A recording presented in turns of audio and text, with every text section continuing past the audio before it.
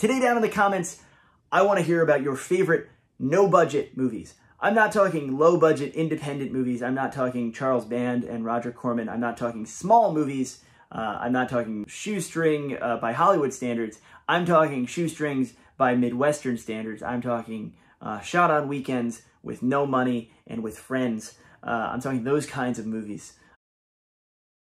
Hello, this is Project Black T-shirt, the channel where we take a horror movie or multiple horror movies and then pair them with a book recommendation that you will enjoy reading if you like those movies. I'm Adam Cesare. I am the author of Clown in a Cornfield, uh, the recently uh, Bram Stoker nominated Clown in a Cornfield, and several other books that you can go read or listen to on audiobook or get the ebook if you enjoy uh, spooky, scary, uh, blood and guts, all that kind of stuff if you enjoy the stuff we talk about on this channel, basically. If you like this video, don't forget to hit like and subscribe so you can watch more videos like it. And today we are talking about uh, one of my most anticipated releases of the year. This is uh, the Homegrown Horror Set, uh, Volume 1. This is put out by people we love at Vinegar Syndrome. This When this was announced, this, this really did kind of extend beyond the typical uh, sec section or subsection of my Twitter feed, uh, of my Facebook feed, of my of Facebook groups where um, where one when Vinegar Syndrome when does uh, doesn't announce, we all go crazy. All my friends in the group text are like, "Oh, what is this one? Oh, I saw that one back in the. Oh, this is good. This is this is the same director as this." Like usually we do that uh, among my friends, but this definitely felt like, and I don't know whether it was just uh, a lucky bounce or whether I um, I kind of uh, was seeing what I want to see, but this really did feel like the interest to this set um, extended beyond the typical uh, audience for Vinegar Syndrome. Uh, so as soon as it came in, uh, I, I, I, watched all the films in a row. They are, um, we're going to talk about them in slightly different order, but they are Fatal Exam, uh, Beyond Dream's Door, and Winter Beast. These are three, uh, this beautiful set, three kind of separately boxed, separately um, jewel-cased uh, releases uh, of these films. And this, it should, it has to be stressed. I know it, I know you can clearly see that this is quality, but it has to be stressed that these uh, are not the types of films you would typically associate with huge, uh, expansive special edition releases. Um, Vinegar Syndrome is usually does that, but they almost they kind of outdid themselves with the amount of special features and the amount of care um, put into these uh, three films that really might not otherwise uh, get it. These are movies that are um, that for a long time were kind of uh, relegated to VHS. Uh, and then uh, in the case of, I think in the case of Winter Beast, when there was a DVD, it was like self-released DVDs. Vinegar Syndrome went all out for these movies. Um, and even beyond, even before we talk about the quality of the movies themselves, they really should be commended for doing that because, wow, this is this is incredible. But I think just because of that eye-catching, this, this is all new art. This is not what these movies uh, originally look like. I'll put up the uh, posters for them as we talk about them, the original posters or the original uh, box art for them. Uh, but these are all regional horror movies. All of them were shot over a series of years. Uh, almost all of them were shot kind of piecemeal on weekends um, by a close group of friends and uh, collaborators and in some cases classmates. but these are these are all three great examples of regional horror, and yet all three are very, very different from each other. These are these these movies kind of couldn't be more different, at least um, in genre and execution. Um, and yet they all it makes sense that you bought them and they all came in this in this set, this homegrown horrors uh, volume one, which would imply more volumes, which I can't wait for. But enough, John, about just the sets and the set in general. Uh, let's talk about these movies. Uh, let's talk about which ones work, which ones uh, I wasn't as big a fan of, and then we'll we'll, we'll give our final judgment on this um, on the set. Talk about them in the order I watched them, which means that 1989's Beyond Dreams Door, uh, sometimes stylized with the apostrophe on Dreams, sometimes not. Uh, here it doesn't have it. Um, but Beyond Dreams Door, all of these when I say like 1989 or 1990 or 1992, those are all kind of not representative of the era of filmmaking that these represent because they were all shot uh, multiple years, over several years, all during the 80s. But Beyond Dreams Door, here's kind of that original uh, art here, is the most professional of the three. This is the this is the film that that feels the most finished, that feels the most like a, for lack of a better term, quote unquote, real movie. Uh, Beyond Dreams Door has has some clear um, professionalism to it. This was shot in Ohio, and everyone, uh, most of the creatives involved in it, uh, were uh, were graduates of the Ohio State. They were graduates of Ohio State, and then they came back and they made a bunch of short films. They'd even made a short version of Beyond Dreams Door. The director Jay Woelfel was like, "What if we do a feature version?" Before he moves out to LA, before he goes tries to make his bones um, in the film industry, what if we make a feature? Uh, and maybe we can get distribution for it. So Beyond Dreams Door was was his brainchild. It's a really hard movie to kind of um, synopsize. It's not a direct uh, adaptation of a Lovecraft story, but it has kind of Lovecraftian elements to it. Uh, we basically, for the first little bit, we really don't know what's going on. We're, we're focused on this character, and he kind of keeps doing that thing where he's like waking up for a dream, but he's not. It doesn't even seem like he's sleeping at the time. It's not like a narcolepsy thing. He's just having these dreams, and his dreams are influencing his real life. Um, and it's it's almost to the point where it's um, almost surrealistic. It almost feels like uh, like experimental in a way. It almost feels like uh, Louis Buñuel and Salvador Dali. It's, it feels that that weird and that disconnected. And then things start to mesh as he's going to this. Um, he's he's uh, a student at the university. He's going to the he's going to get a sleep study in the sleep lab. They find him very interesting, and the doctor, the head of the sleep lab, kind of takes this case and, and really runs with it and tries to figure out what's what's up with him. And he's got two TAs. He's got two um, kind of um, students under him that that he hands off to that could kind of become the main investigators of this.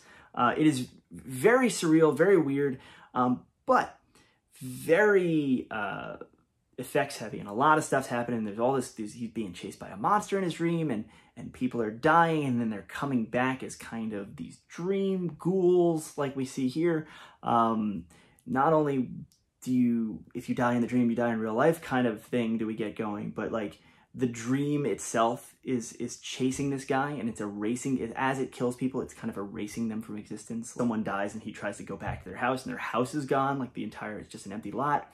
It's a really really it's full of interesting ideas uh, and they're all executed really um, really simply uh, but with a lot of like i said uh, and we won't really have in the later films but with a lot of like technical competency uh, and a little bit of filmmaking pizzazz.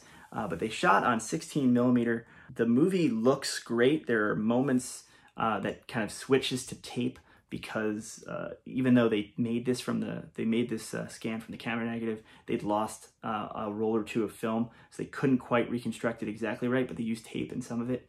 It looks great though, um, and there's a there's a really significant making of documentary on here that's like I don't know I, I forget now they're all starting to run together, but this one, this one's at least a half hour, maybe even longer. It's close to an hour, but it's really inspiring. I'm not even, I don't make movies. I'm not a filmmaker, but I found it inspiring. Uh, so I can only imagine if you, if you make movies um, and if you want to kind of hear the, the kind of inside baseball ins and outs of like, they don't make them like they used to. And it's like, here's why. Um, it's because they had access to this equipment and because they were shooting on real film and very very interesting. Uh, very interesting movie one of the most interesting movies in the set. Not my favorite movie though. We will we will talk about that. Um, but uh, really just it would be worth getting if this were a standalone disc. I'll, I'll, say that. Next we have winter beast. And of the of the three with this newly commissioned art uh, winter beast looks like the coolest baddest ass monster on the cover. Um, not really representative of the monsters you get in the movie, but what it lacks in maybe quality of monsters, it makes up for in quantity. This is the shortest movie in the set. This movie is 70 minutes, um, and it really flies. Uh, here is the original uh, cover, which you might be more familiar with because I think uh, Red Letter Media did this uh, a while ago as one of their best or the worst. Uh, but this is a, uh, a, a, bizarre movie. This this movie makes absolutely no sense, and I don't even mean that. I don't mean that in the Dali uh, impressionistic experimental way that I meant when I talked about Dreams Door. I mean this this this movie barely fits together. Uh, there's um, very little continuity. There's very little attempt to. We have like these three or four ish main characters that kind of enter and exit um, seemingly at random. Only real story to hold on to we're in western Massachusetts, northern Massachusetts, kind of bumping up against New Hampshire. I think some of it might have been shot in New Hampshire. Um, and we're focusing on this town uh, where the park rangers are, are are experiencing park rangers are going missing and people are going missing and they want this um, this guy who's recently reopened the Wild Goose Lodge who's recently reopened this um, this kind of tourist attraction and uh, and lodge they want him to stop to stop having people there. And of course he's he doesn't want to. And they think it's they think it's connected to this Native American curse. They think it's connected to this portal from different realms, which is why there's different uh, demons, like the demon we have here, which is, you know, spoiler, it's kind of like the final demon, but we have all kinds of different, predominantly stop motion animated monsters that show up at seemingly random times um, that look very different from one another. Um, but what it lacks in sense and cohesion more than makes up for in entertainment value. Winter Beast is uh, despite large chunks of it taking place during the summer and fall, Winter Beast, um, there's, a, there's one or two shots with like snow on the ground. But this is uh, a riotous, in, insane movie. Uh, I really, really, really appreciate it. It varies between there's there's varies between like what they what medium they even shot on. Some of it's 16 millimeter, some of it's 8 millimeter. Um, it is it is thrown together with uh, bubblegum and uh, chutzpah and like kind of let's make a movie charm. Um, there's these weird sets like uh, the lodge itself and the the ranger station. They're they're they're made in people's houses and they just the sets feel so small and weird and cramped and they're decorated with all this like ticky tacky tchotchkes from uh, Massachusetts uh, small towns from like the Mohawk Trail and stuff like that. It gives it gives it this really really weird, really destabilizing um, effect to the movie. Like you, you watch this movie, and it, you could watch this movie stone sober. Um, you probably want to watch it with a couple beers, but if you watch this stone sober, you will feel a weird kind of like, am I hallucinating this? Is this? Do I have a head injury? Do I need to go to the hospital? Do I have a brain bleed? That's the kind of movie this is, and I really, really am, am very sparing in my use of um, so bad it's good because I don't really like that just generally as a concept.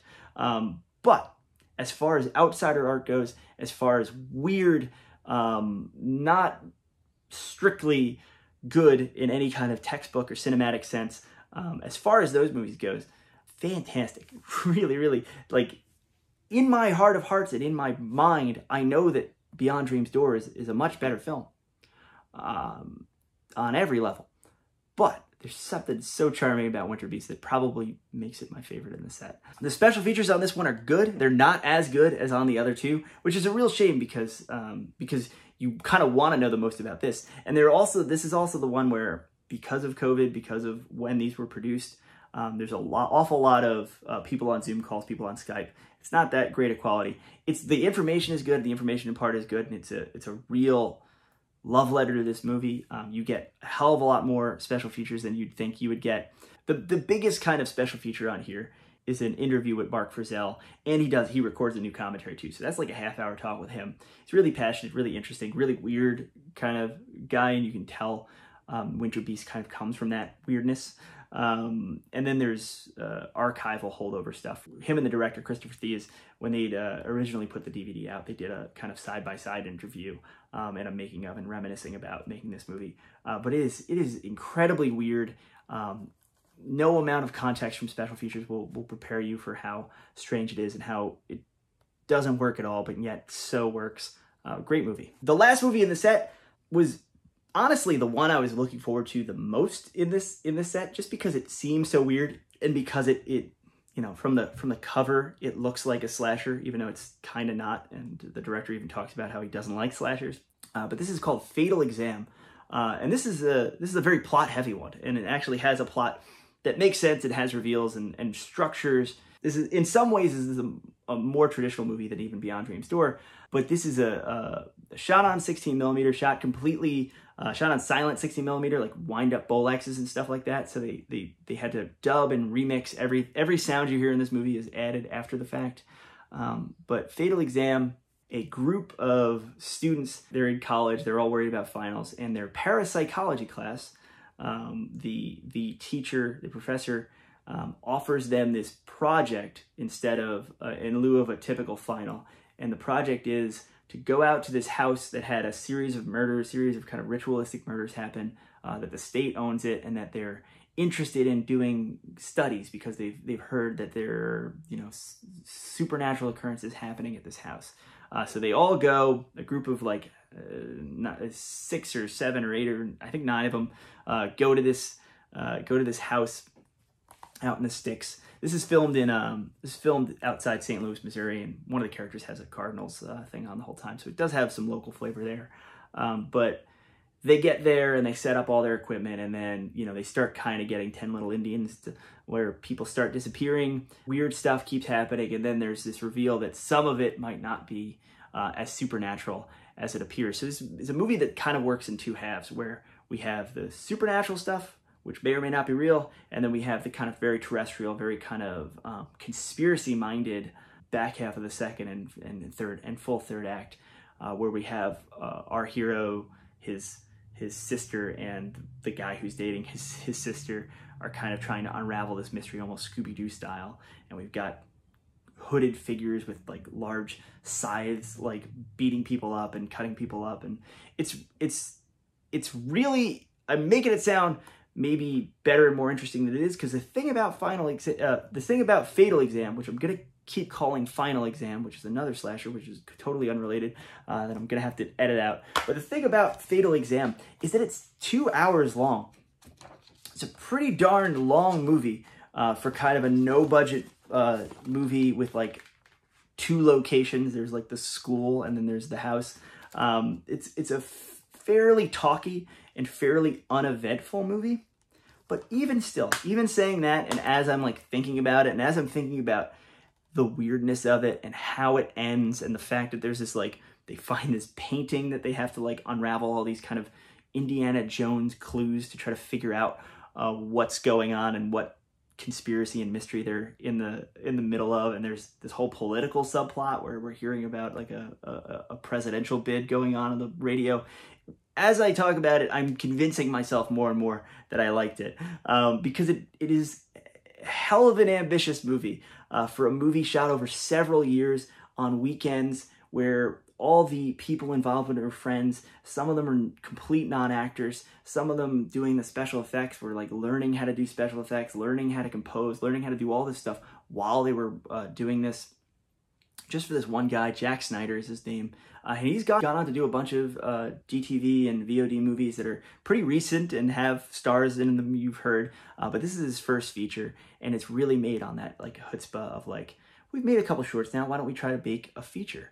Let's make a two-hour, uh, very talky movie that we're gonna have to dub later, and it's just it's there's there's even a little bit of stop motion in it. There's even a little bit of there's some gore. There's some interesting kills. There's some action scenes with that are insanely choreographed. Um, it just doesn't quite. It's not as zippy and it's not as um, as kind of crowd pleasing as the other two movies in the set. But as I talk about it, as I think about it, yes, it is the lesser of the three. But that's that's that's not that's not to say it's not worth watching. That's not to say it's not worth owning. That's not to say it's not worth thinking about um, and engaging with. Yeah, and this this also like uh, like Beyond Dream's Door. This has a, a really pretty long, pretty uh, in, pretty great newly produced uh, documentary uh, where they all get to, a lot of the uh, a lot of the people that made it kind of get together. They're in like this private theater, and it's nice to see the, all these these older gentlemen uh, who made this movie when they were kids uh, kind of come back together and, and talk about it so fondly and all the fun they had and how uh, Snyder met his wife on the set. She's one of the stars of it. Um, then she got married literally while they were making it to another guy, uh, and then they got together later. It's it's really like it's a nice movie. Uh, it's a nice uh, making of documentary because it really reminds you of the little communities that get built uh, when you make a film like this. If you if you can't pick up uh, on my the the tone of my voice, whether or not the Homegrown Horror Volume One set is worth it or not, uh, it's hella worth it. Uh, it's so so worth it. Uh, not only for the films themselves that have never looked this good, um, but for the uh, the special features, which are incredibly above and beyond and incredibly exhaustive. Uh, I I hope they do many more volumes of this. I hope there are many more films like this for them to find to put out, and I'm sure there are. Um, but geez, uh, you know, Missouri, uh, Massachusetts, and, and Ohio. You get a real tour of the United States. You get a real tour of what filmmaking was like uh, in the mid 80s to late 80s to 90, early 90s. Um, but man, get this, uh, and I hope they make more sets like it. This week's book rec recommendation is an oldie but a goodie. Uh, I am recommending Clive Barker's Books of Blood, and kind of because one of the movies prompted me to do that. Um, in Beyond Dream's Door, uh, there's you can you can see because of this new pristine transfer, you can see kind of the books on the back of one of the bookshelves, and uh, the main character has uh, Clive Barker's In the Flesh, which is Books of Blood, Volume Five, was released in other territories, but here it was released just as, as In the Flesh on its own. Um, yeah, that's that's the one with uh, with the Forbidden, which is the Candyman story.